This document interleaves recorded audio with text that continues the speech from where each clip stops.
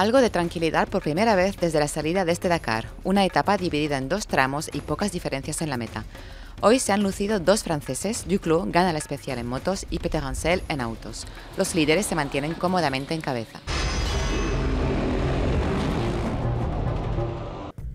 No es un buen año para Cyril Depré. Después de sufrir problemas mecánicos y cometer errores de navegación ayer, el francés llega a la meta con más de dos horas de retraso.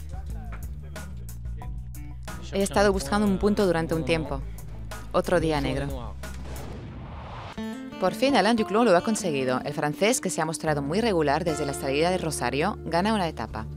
El piloto de Sherco se impone entre Tucumán y Salta en una etapa en la que la tierra y las piedras sustituyen a la arena y las dunas. Un recorrido de 400 kilómetros en dos tiempos. El francés marca la diferencia en la segunda parte de la especial, ya que al arrancar la etapa, Marc Coma acelera y corre a una media de 95 kilómetros por hora. A pesar de ello, el líder de la general acusa un minuto y 15 segundos de retraso sobre Duclos. Este es mi terreno favorito, por lo que he aprovechado para correr y marcar la diferencia.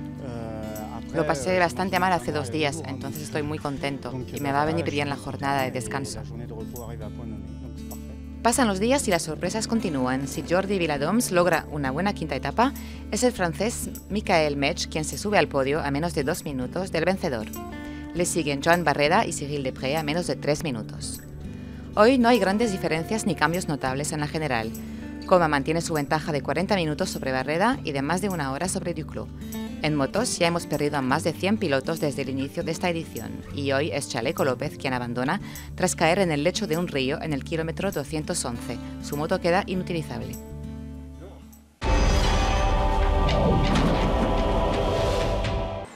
Tampoco en autos hay grandes diferencias en la meta de esta sexta etapa. Stefan Peter gana la especial. El francés, a más de media hora de Nani Roma en la general, se hace pues con una segunda etapa y araña seis minutos al español, que sigue líder de la general.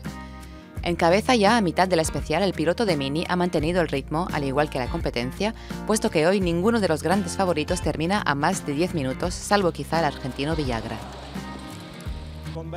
Es una lucha difícil para nosotros. Estamos detrás, vamos rezagados.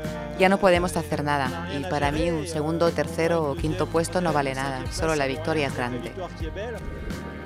Mini realiza hoy un triplete con Nasser Alatilla y Orlando Terranova en el podio. Tampoco Geniel de Villiers ha tenido problemas de navegación. El surafricano con su Toyota se coloca en cuarta posición por delante de Carlos Sainz. Los dos pilotos junto con Christian Lavieille son los únicos que no son del equipo Mini en entrar en el top 10.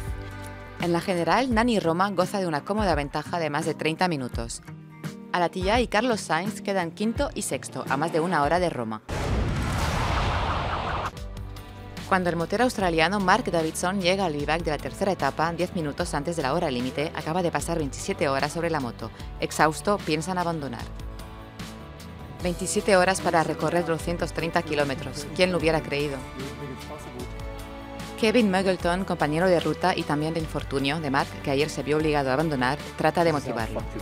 Es un día asqueroso, pero no te rindas, te dolería mucho. No abandones ahora. Gracias a las palabras de su amigo, Davidson vuelve a subirse a la moto. Finalmente abandonará durante la cuarta etapa. En el Dakar, cuando un guerrero entrega las armas, los demás se solidarizan. En motos, Alain Duclos, muy regular desde el principio, se adjudica por fin una victoria de etapa. Marc Coma sigue gestionando su considerable ventaja en la general. Joan Barreda está a menos de una hora de coma. En autos, Nani Roma pierde hoy unos minutos pero sigue liderando la general por delante de dos otros minis, los de Terranova y Peter Roncel, vencedor del día. Este domingo las motos y los quads estarán en Bolivia. Desde Salta llegarán a Uyuni a más de 3.000 metros de altitud, a unos kilómetros del Salar, el lago salado más grande del mundo. Los coches y los camiones seguirán en Salta, Argentina, para un especial de más de 500 kilómetros.